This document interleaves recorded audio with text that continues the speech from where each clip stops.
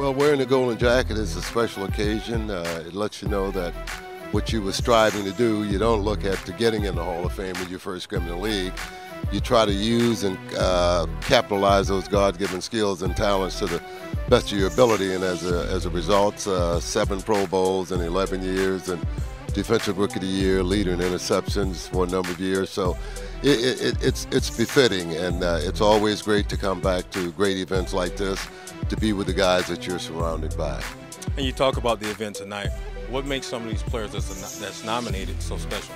Well, you know, the speciality of it is, is again, they've used their God-given skills and talents, and uh, had some great coaches and some other great players around him as well because you can't do it by yourself. That's why it's called team. Yeah.